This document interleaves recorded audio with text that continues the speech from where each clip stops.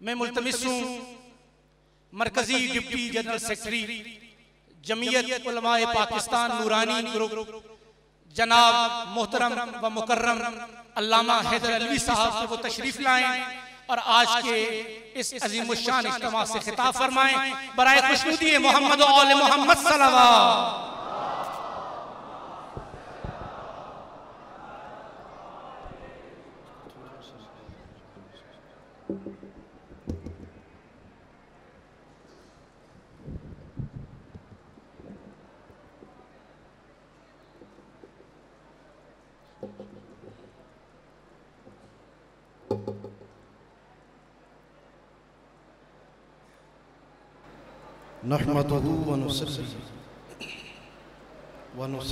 अला रसूलिहिल करीम अम्मा बअद फ़अऊज़ु बिल्लाहि मिनश शैतानिर रजीम बिस्मिल्लाहिर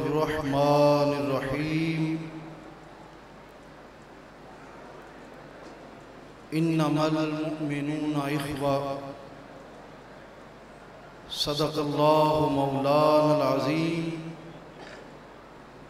व बल्लगना रसूलुहुन नबियुल करीम बिबरकति इन्नल्लाह व मलाइकतहु युसल्लूना अलन नबी या अय्युहल्लज़ीना आमनू सल्लु अलैहि व सल्लिमू तस्लीमा दुरूद पे पढ़िए अल्लाहुम्मा सल्लि अला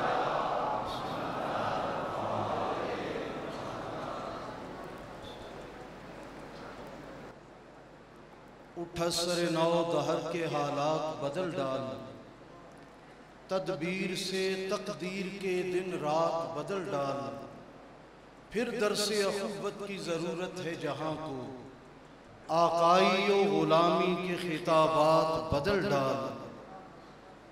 मशरक से उभरते हुए सूरज की जबी पर, तहरीर तेरा नाम है, कुछ हो के रहेगा। उठ के अब बज़म जहाँ का और ही अंदाज है। मशरक मगरब में तेरे दौर का आगाज़ है। और न तूने पूछी है, इमामत की हकीकत मुझसे। हक तुझे मेरी तरह साहिब इसरार करे। है वही तेरे जमाने का इमाम बरहक, जो तुझे हाजिर मौजूद से बेजार करे। और मौत के आईने में तुझको दिखाकर रुखे दोस्त, ज़िंदगी तेरे लिए और भी दुश्वार करे। और दे के एहसास जिया, तेरा लहू गरमा दे। फक्र की शान पर चढ़ाकर तुझे तलवार करे।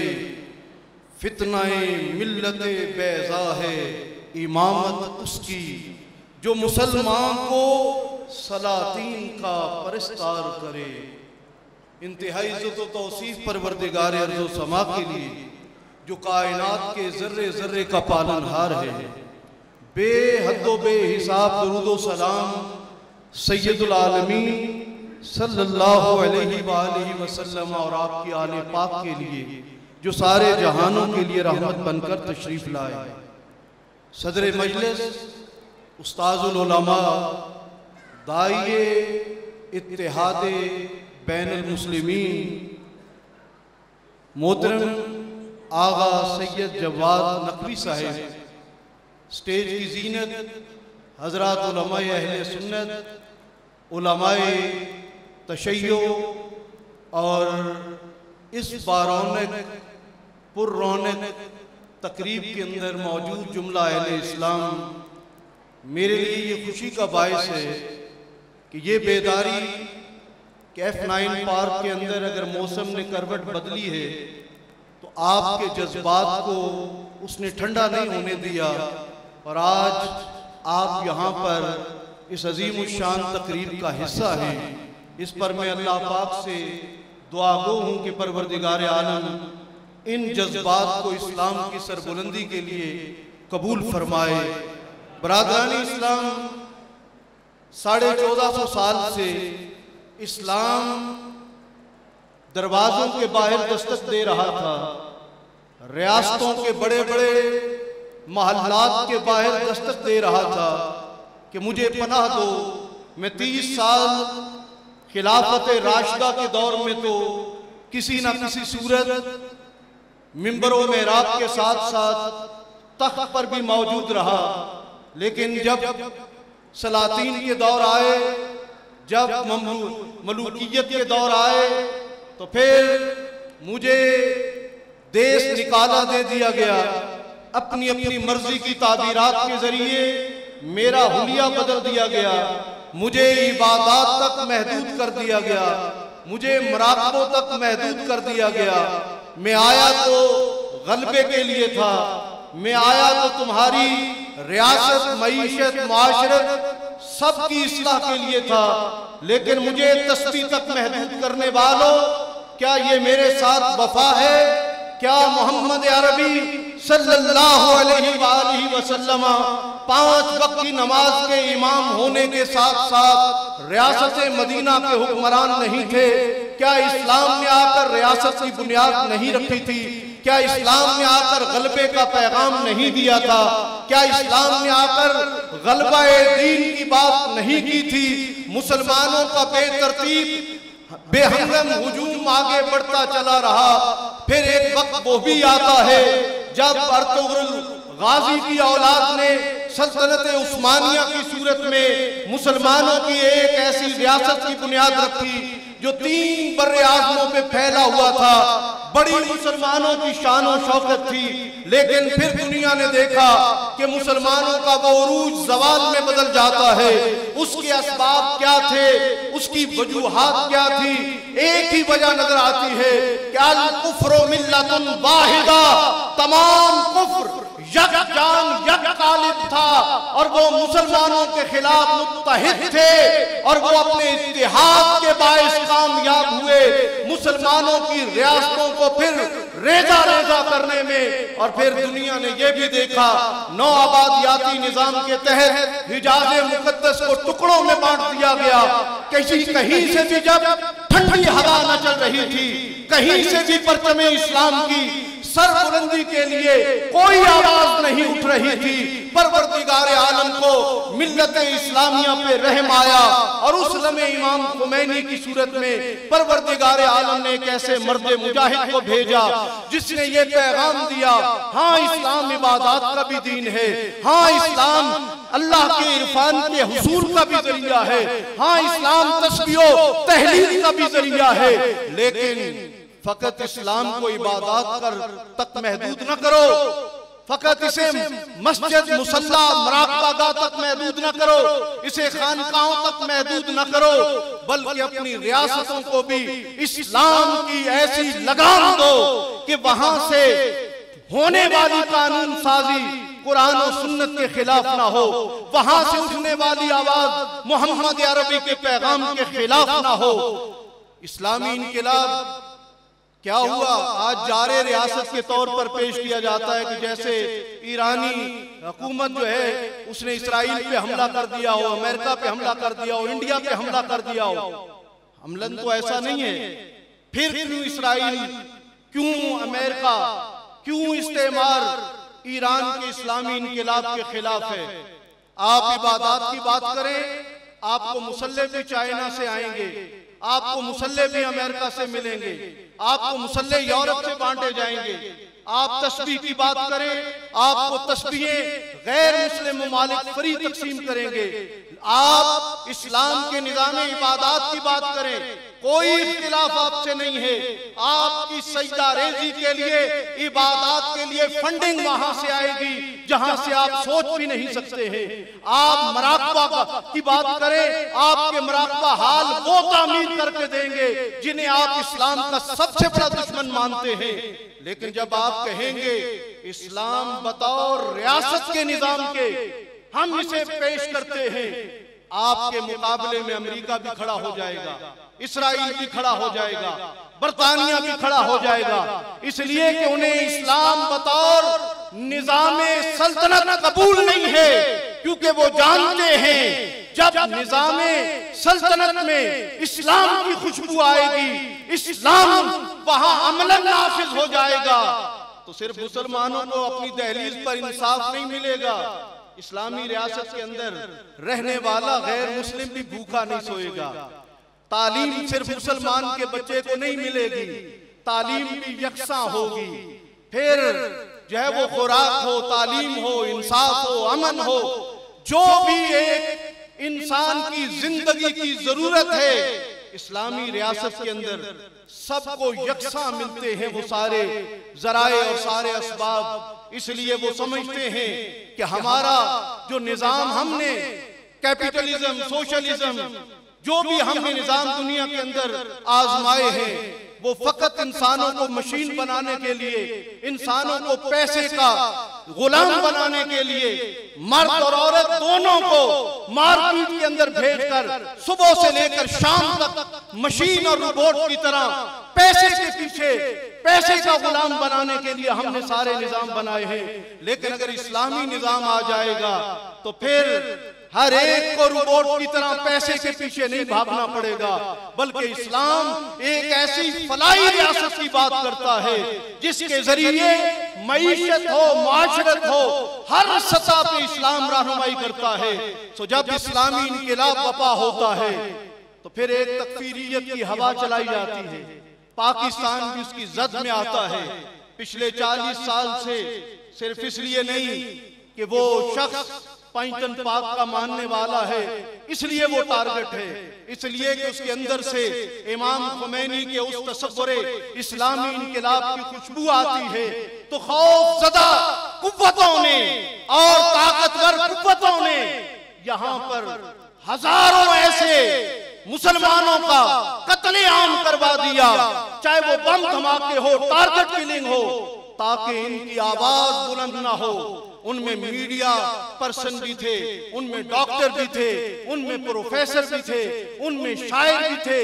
पाकिस्तान के एक बड़ी करीब सिर्फ़ इसलिए मार दी गई क्योंकि वो मकतब अहले बैत का पैगाम लिए हुए अपने सीने में इमाम अली रजा सलाम की फ़िक्र लिए हुए थे इमाम खुमैनी की फ़िक्र लिए हुए थे। उन्हें यह खदशा था कि कहीं वही इस्लामी इनकलाब का फरेरा यहाँ भी नज़र ना आए। कहीं ऐसा ना हो कि यहाँ पर मौजूद जो मगरब सदा निज़ाम है इसको तब्दील करने की बात यहाँ ना शुरू हो जाए और फिर हमने ये देखा, खलीज के ममालिक में भी तकफीरियत को हवा मिलती है। वहाँ भी दाइश और इस तरह की तरह तरह की तंजीमों को खड़ा करके मुसलमानों की नस्ल खुशी की गई। फकत एक ही उसका मकसद था कि कहीं इस्लामी इनकलाब की ये आवाज़ आगे ना बढ़े। आखिर क्या वजह है? क्यों अमेरिका मुखालिफ है इस्लामी इनकलाब या फ़िक्र इमाम खुमैनी का? इसलिए कि वो ये जानता है कि इस्लामी इनकलाब के बाद कोई एक दिन कोई एक रात ऐसी नहीं गुजरी जब किसी भी दुनिया के हिस्से में मुसलमानों पर जुल्म ढाया जाए या गैर मुस्लिमों पर जुल्म ढाया जाए और ईरान से उसके लिए आवाज़ बुलंद ना हुई हो क्योंकि इनके मकरू चेहरे इनके जालिमाना चेहरे जिन पर पहले निकाब पड़ा हुआ था किस चीज़ का? वो कहते थे हमारा ये जमहूरी निज़ाम है। भाई जमहूरियत तो जमहूर के लिए होती है तुम जमहूर को कुचल कर कहते हो, ये जमहूरी निज़ाम है। जमहूरियत वो नहीं होती है जिसमें जमहूर के नजरियात को कुचल दिया जाए। जब तक आप जमहूर की आवाज़ का एहतराम नहीं करेंगे, तब तक वो जमहूरियत नहीं कहलाती है। हमारे मुसलमानों के बीसियों ममालिक को तोड़ा बोरा कर दिया गया। जमहूरियत के नाम पर नेटो फोर्सेस के नाम पर यह कुफर का एक ऐसा शिकंजा था, जहाँ जब जिसका जी चाहता था, मुस्लिम ममालिक को और गैर मुस्लिम ममालिक को भी, जो उनके नजरियात को फॉलो नहीं करते थे, उन्हें टारगेट कर दिया जाता था। उनके लिए आवाज़ बुलंद करना भी जुर्म था। उनके हक में बोलना भी जुर्म था। लेकिन उस खौफ के, उस खौफ की कैफियत को दूर कर दिया इमाम खुमैनी की फ़िक्र ने। और आज कोई भी मजलूम हो, चाहे वो फलस्तीन के अंदर हो, कश्मीर के अंदर हो, चाहे वो लबनान के अंदर हो, चाहे वो जहाँ की पूरी दुनिया में जहाँ भी किसी मजलूम का खून बहता है, रिश्ता है, जुल्म होता है उस पर तो ईरान से, उस इस्लामी इनकलाब के साय में आवाज़ बुलंद होती है। याद रखिए, कुफर का निज़ाम इतना कमज़ोर है कि वो फकत मजलूमीन के हक में उठने वाली आवाज़ से भी इतना डरता है कि आज साल हाँ साल गुजरने के बावजूद पूरा एक जमहूरी सिस्टम मौजूद है ईरान के अंदर। लेकिन वो इसके खिलाफ प्रापोगंडा क्यों करता है? क्योंकि उसे पता है, हमारा जो पैदा किया हुआ कुफर का निज़ाम है, जिसको हम जमहूरियत का लिबादा पहनाए हुए, उसके अंदर से मजलूमों का खून रिस रहा है।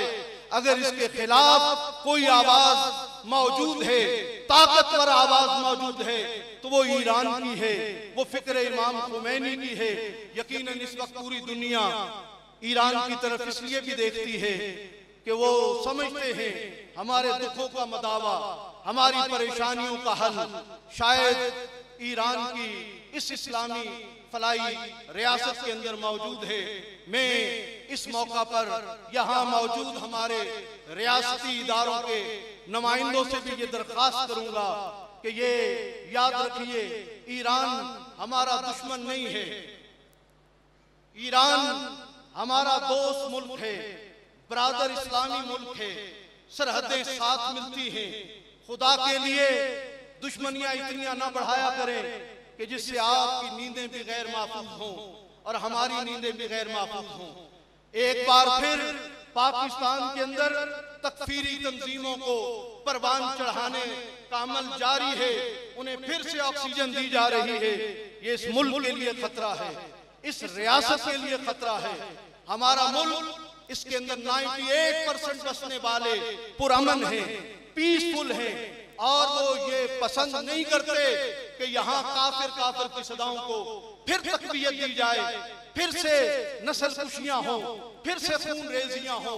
क्या आप समझते हैं कि इस मुल्क की बका के लिए और इस मुल्क के अंदर हकीकी इंसानी माशरे के कयाम के लिए यहाँ पाई जाने वाली सारी तकफीरी तंजीमों को बैन किया जाना चाहिए, उन पर पाबंदी लगनी चाहिए कि आप इसकी हिमायत करते हैं। ये उठे हुए हाथ बता रहे हैं कि यहाँ बसने वाले करोड़ों मुसलमान कतन नहीं चाहते कि हमारा पड़ोसी मार दिया जाए या मेरे घर से लाश उठे। हम ये समझते हैं कि भुट्टो का बनाया हुआ ये आयन इस वक्त भी पाकिस्तानियों को बाहम जोड़ सकता है। इस आइन के अंदर मौजूद जो मुसलमान की तारीफ़ है, उस पर यहाँ के तमाम फिरके पूरे उतरते हैं। किसी को भी काफिर कहने का हक इसलिए नहीं दिया जा सकता कि वो आईने पाकिस्तान से गद्दारी होगी। और पाकिस्तान का आयन ये तहफुज फराम करता है इंश्योर करता है कि यहाँ का सुप्रीम लॉ कुरान और सुन्नत होगा और कुरान और सुन्नत के खिलाफ कोई कानून साजी नहीं हो सकती। तो आइए, हम आज ये भी मुतालबा करते हैं कि ब्रिटिश लॉ की बजाय बड़ो इस्लामिक लॉ की तरफ़ तमाम फिरके तुम्हारा साथ देंगे। फिर देखना, यहाँ की मीशत भी परवान चढ़ेगी, मुआशत भी परवान चढ़ेगी। मैं आज की इस तकरीब के इनका पर तहरीक बेदारी उम्मत मुस्तफ़ा को न सिर्फ़ मुबारकबाद पेश करता हूँ, बल्कि ये यकीन दिलाता हूँ कि इन इस्लामी इनकलाब के लिए और सही इस्लामी फलाई रियासत के क्याम के लिए आप जो भी इकदाम उठाएँगे इन जमीयत पाकिस्तान, इमाम शाह नुरानी सिद्दीकी रहमतुल्लाह जिन्होंने मिली यकजहती काउंसिल के प्लेटफॉर्म से ये तहैया किया था कि मुसलमानों के तमाम फिरकों को जोड़ कर रखना है, इनके अंदर भाईचारे को कायम रखना है। और फिर दुनिया ने यह भी देखा कि एक मीटिंग के अंदर एक तकफीरी तंजीम को दाखिल करने की फकत कोशिश की गई, कि इसे भी मिली यकजहती काउंसिल का हिस्सा बनाया जाए। तो इमाम शाह नूरानी सिद्दीकी रहमत ने फरमाया था, हमने मिली यकजहती कौंसिल मुसलमानों को बाम मुतहद रखने और इनके भाईचारा कायम करने के लिए बनाई है। इसे हमने दहशत गर्दों को शेल्टर फराम करने के लिए नहीं बनाया है। ए मुल्क पाकिस्तान के मुहिब वतन रियासती इदारों आओ शेल्टर देना है।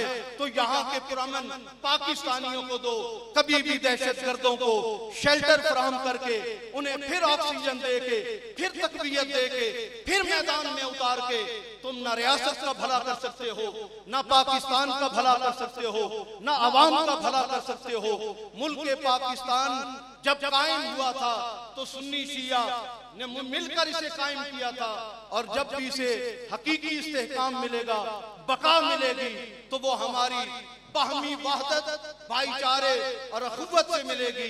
इसी फ़िक्र के अमीन, दाई इतिहाद बैन मुस्लिमीन, आगा सैयद जवाद नकवी साहब का मैं एक बार फिर शुक्रिया अदा करता हूँ कि आपने एक ऐसी पाकिजा फ़िक्र को लेकर चले हैं, जिससे उम्मत मुसलमान के अंदर तफरकों को इनशाला उनका खात्मा होगा और यहाँ पर बाहम भाईचारा होगा नस्ल खुशियों का खात्मा होगा तशद का खात्मा होगा, शिद्दत पसंदी का खात्मा होगा, और ये पाकिस्तान हकीकी इस्लामी फलाई रियासत बनकर मुल्क पाकिस्तान तमाम इस्लामी रियासतों को बाहम जोड़ेगा, और इन वो फ़िक्र इमाम खुमैनी के हमने मजलूमीन की मदद करनी है, जालिम के मुकाबले में खड़ा होना है इन उसी फ़िक्र पर पाकिस्तान की भी बुनियाद है, अल्लाह ताला इन दोनों रियासतों को बाहम भाईचारा और इतफाक और इतिहाद नसीब फरमाए कि मोहम्मद से वफा तूने तो हम तेरे हैं।